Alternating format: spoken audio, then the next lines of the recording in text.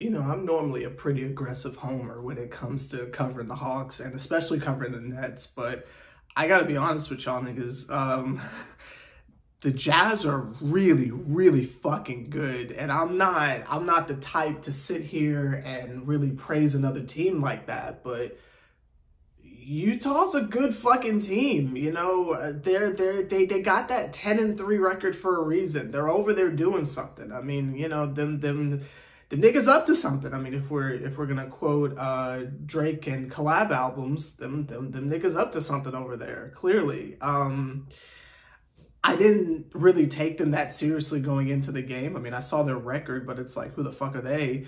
Uh, you, you, know, they've got Mike Conley and they've got uh, Collin Sexton coming off the bench and Lauri Markkanen. You know, they kind of seem like oh, and and like and like Clarkson or some shit like that they're like the island of misfit toys. Like all these niggas that like couldn't make it on other teams just wound up in Utah with all the trades and such.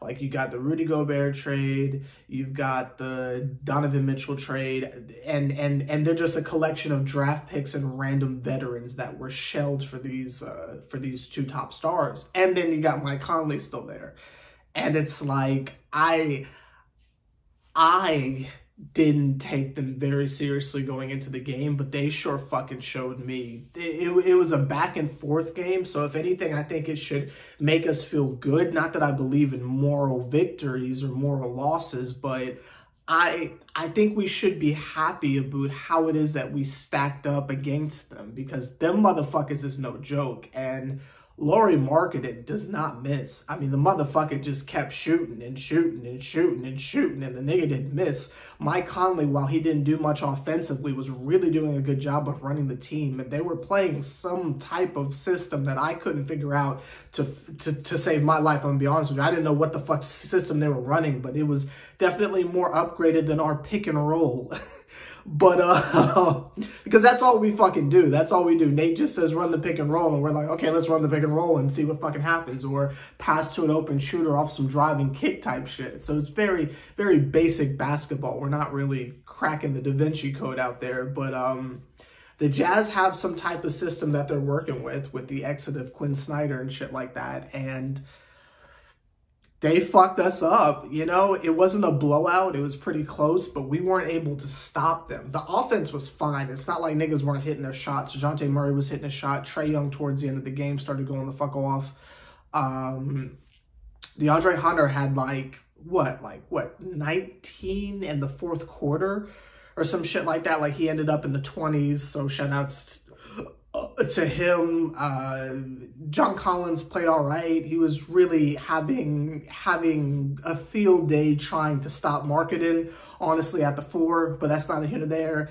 It was it wasn't the type of game where you walk away with your head down, basically. Like we we we lost, but it was to a really fucking good team and this might sound like the ultimate cop out, but they're in the Western Conference and we only have to think about them twice a year. So when we lose to Western Conference teams, unless they're ass, like it's the Kings or some shit like that, and it's Red Velvet's Revenge or some shit like that, um, I just check it off as was it competitive, yay or nay. And if it's a yay, then I'm like, okay, cool, and we walk away from the shit. We just beat the Milwaukee Bucks. That's the type of shit that we need to be prepping for. Not whatever the fuck is going on in Utah. They're not gonna make it out the West, so we don't ever have to worry about them really. So if they caught us slipping one night, it is what it is. I feel like the main focus is us preparing for our next game. The main focus is getting ready for the 76ers because that is something that is in our conference that we need to be aware of.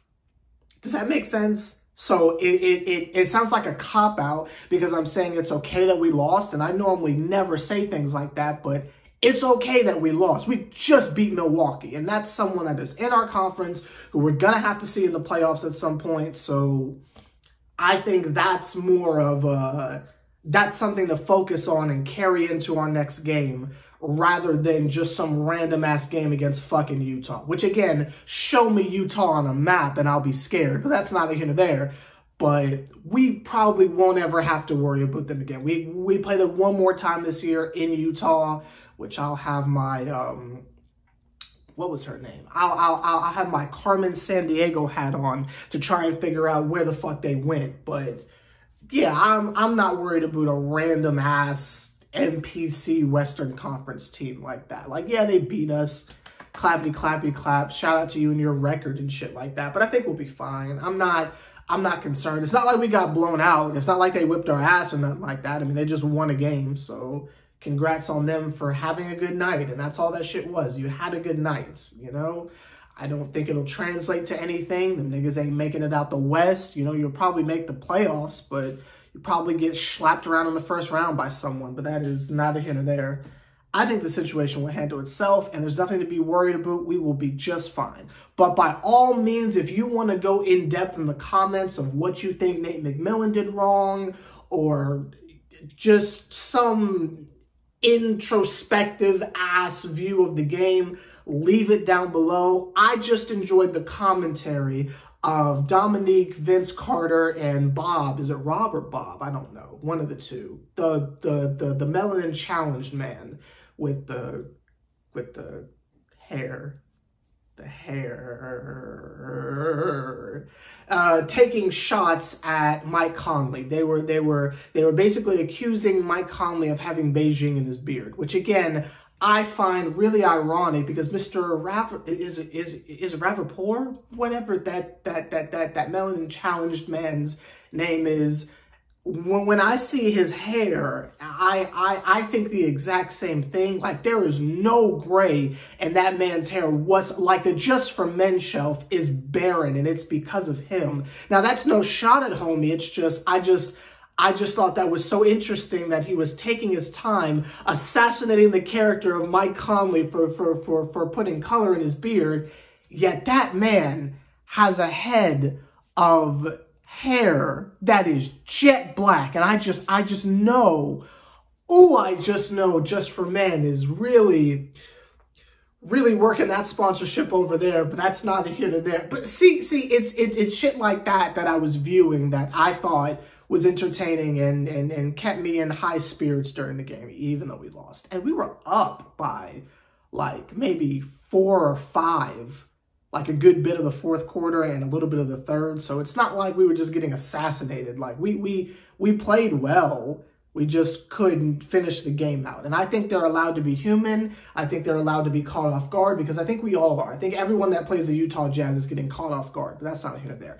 I'm just here to tell you that it ain't no joke. Them niggas is for real over there, but they are over there, and that shit ain't got nothing to do with us. So let's shift our focus to the 76ers. Them niggas ain't got Harden, which let me show y'all. Let, let me show y'all. Hold up. I do have the Harden jersey now. Oh, oh, oh, I do have the Harden jersey. Anytime I anytime I bust that out on Nets Republic, niggas go insane. It's like motherfuckers hate James Harden so goddamn much, especially Nets fans. Hate that motherfucker so goddamn much. It is it's hilarious. It's it's it's it's it's funny to me. I fucks with James Harden, but um yeah, he's not gonna play tonight, or excuse me, tomorrow. Is it tomorrow? Or is it tonight? It's tonight. He's not gonna play tonight, so I mean, it's just Joel Embiid and Tyrese Maxey and basically everyone else. With James Harden not being at the helm and in control of the team, I doubt their validity and I doubt their ability to fuck us over, especially coming off of this loss. I think the Hawks are a little bit embarrassed because they caught us with our pants down a little bit, which I never understood that that that line. Caught you with your pants down. What the fuck are we talking about? But that's neither here nor there. Uh, long story short, we'll be fine against Philly. I'm not concerned in the slightest. So I'll see y'all tonight to talk about how we beat Philly. And then maybe I can get some fucking Sonic Frontiers in because there's only one game tonight. The Nets don't play till Saturday, so maybe I can actually get some other shit in other than fucking basketball for a change after work. But that's not here or there. I'll see you motherfuckers later tonight. You're on Hoody Fish. I'm Sever the Bond.